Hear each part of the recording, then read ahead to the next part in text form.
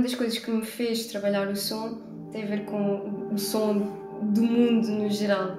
A dada altura comecei-me a perceber que tinha uh, realmente um impacto muito grande, especialmente nas cidades, tipo uh, o comboio, as pessoas a falar, tipo os carros, os aviões, tipo tudo ao mesmo tempo. No fundo acaba por fazer tipo uma, uma sintonia, uma melodia que é quase imperceptível, uh, mas que existe e que nós estamos a fazer a vida e nem reparamos, mas que ela existe.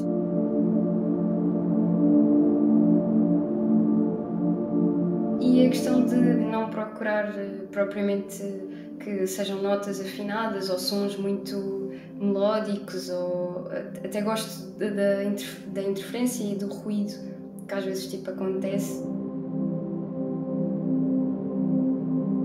Podemos ver a mesma forma repetida em vários objetos uh, ao longo das cidades e, e em todas as cidades. Não é que eu já tenha viajado muito, mas sei lá, por exemplo, os canos da canalização ou o círculo da sinalização.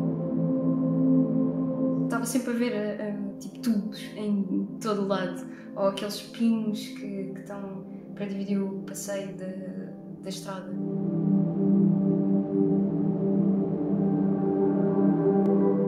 Mas, no entanto, é o conjunto das pessoas, ou seja, uh, pronto, como eu estava a dizer há pouco, quando estamos na rua e estamos a ouvir tipo, pessoas a falar ou coisas todas aleatórias ao mesmo tempo, hum, no fundo dá tipo uma melodia que parece desintonizada, mas que eu acho que não está, porque hum, no fundo é por causa da, da ação do senhor do comboio que chegou a horas e que está a transportar aquelas pessoas todas que apanharam aquele comboio, que saíram ao mesmo tempo. Pronto, no fundo está, está tudo ao mesmo tempo.